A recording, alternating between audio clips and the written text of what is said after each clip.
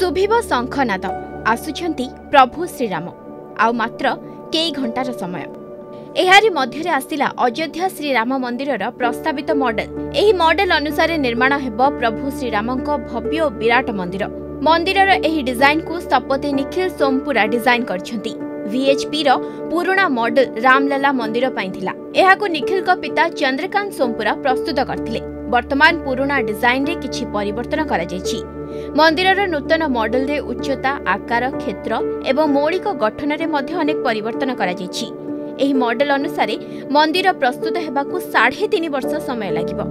ଏହି ମନ୍ଦିର ତିନି ମହଲା ବିଶିଷ୍ଟ ହେବ ଏବଂ ବାୟୁ ଶାସ୍ତ୍ର ଅନୁସାରେ ନିର୍ମାଣ ହେବ। ମନ୍ଦିରର ଶିଖରର ଉଚ୍ଚତା ଶହେ ଏକଷଠି ଫୁଟକୁ ବୃଦ୍ଧି କରାଯାଇଛି। ଏହା ସହିତ ଗମ୍ବୁଜ ସଂଖ୍ୟା ତିନିରୁ ପାଞ୍ଚକୁ ବୃଦ୍ଧି କରାଯାଇଛି। ମନ୍ଦିରର ଭୂମିର ଆକାର ମଧ୍ୟ ବୃଦ୍ଧି କରାଯାଇଛି।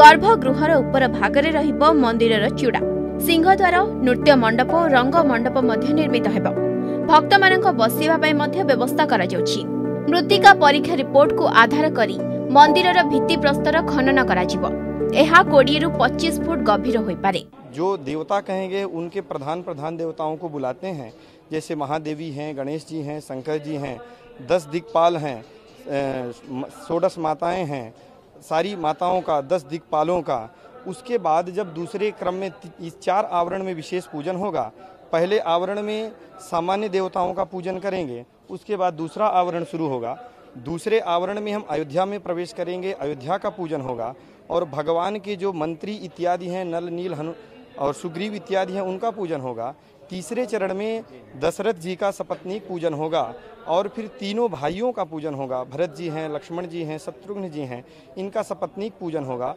उसके बाद हनुमान जी का पूजन होगा और अंतिम चरण में विशेष रूप से भगवान का पूजन किया जाएगा।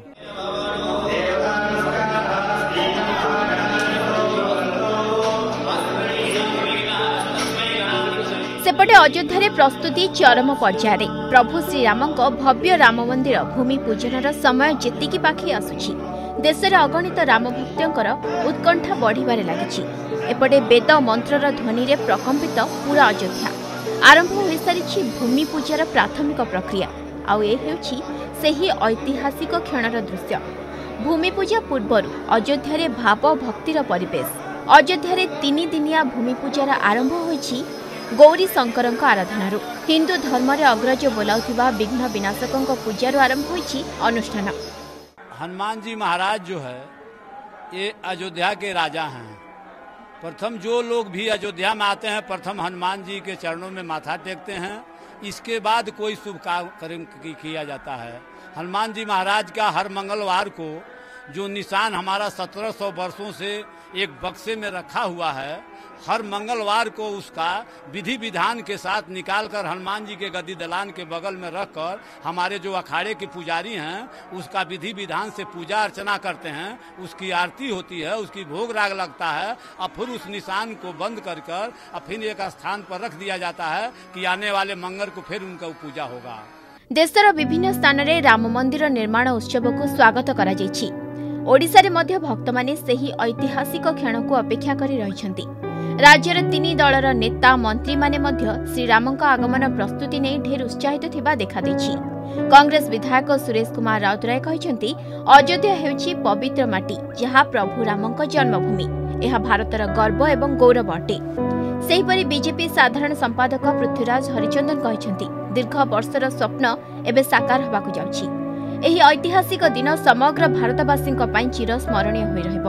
ନା ଅଯୋଧ୍ୟା ହେଲା ଆମର ପବିତ୍ର ମାଟି ରାମଙ୍କ ଜନ୍ମ ମାଟି ଭାରତ ବର୍ଷର ଗର୍ବ ରାମଚନ୍ଦ୍ର ଈଶ୍ୱର ହେଲେ ଆମର ନାରାୟଣ ରାମ ଲକ୍ଷ୍ମଣ ସୀତା ବୀର ହନୁମାନ ଏହି ରାମ ଭାରତ ବର୍ଷରେ ଅଶାନ୍ତି ଦୂର କରିବା ପାଇଁ ମର୍ତ୍ତ୍ୟରେ ଅତ୍ୟାଚାର ଦୂର କରିବା ପାଇଁ ରାବଣକୁ ବଧ କରିଥିଲେ ସେହି ପବିତ୍ର ମାଟି ଅଯୋଧ୍ୟା ଅଯୋଧ୍ୟାରେ ରାମ ମନ୍ଦିର ହେବ ସବୁବେଳେ ଆମର ଆଶା ଥିଲା। ଏଭଳି ଏକ ଅବିସ୍ମରଣୀୟ ମୁହୂର୍ତ୍ତ ଯାହାକି ଭାରତବର୍ଷର ଇତିହାସରେ ପୁଣି ଥରେ ସ୍ୱର୍ଣ୍ଣାକ୍ଷରରେ ଲିପିବଦ୍ଧ ହେବ ଯେ ପ୍ରଭୁ ଶ୍ରୀରାମଚନ୍ଦ୍ରଙ୍କ ମନ୍ଦିର ଏବଂ ପ୍ରଭୁ ଶ୍ରୀରାମଚନ୍ଦ୍ରଙ୍କ ଉପରେ ଆସ୍ଥାକୁ ନେଇକି ଯେଉଁ ବିଭିନ୍ନ ପ୍ରଶ୍ନବାଚୀ କିଛି ଦୁର୍ବୃତ୍ତ ଏବଂ କିଛି ଅସାମାଜିକ ତତ୍ତ୍ୱ ଯେଉଁମାନେ ରାଜନୀତି କରିବେ ବୋଲି ନିଜର ଧର୍ମ ନିଜର ସଂସ୍କୃତି ସେ- ସେକୁ ଜଳାଞ୍ଜଳି ଦେଇପାରନ୍ତି ସେଭଳି କିଛି ଲୋକ ଯେଉଁ ଉଠଉଥିଲେ ଆଜି ସେ ସବୁ କଥାର ଅନ୍ତ ହୋଇଛି। ପ୍ରଭୁ ଶ୍ରୀରାମଚନ୍ଦ୍ରଙ୍କର ମନ୍ଦିର ତିଆରି ହେବ। ଏ କଥା ଆଜି ସ୍ପଷ୍ଟ ଭାବରେ ଦେଖାଯାଉଛି। ଏବେ କେବଳ ସେହି ଐତିହାସିକ ସମୟକୁ ଅପେକ୍ଷା ଦୀର୍ଘ ବର୍ଷର ଅପେକ୍ଷାର ଅନ୍ତ ପରେ ଅଯୋଧ୍ୟାରେ ହେବାକୁ ଯାଉଛି ପ୍ରଭୁଙ୍କର ଭବ୍ୟ ମନ୍ଦିର। Bureau report the in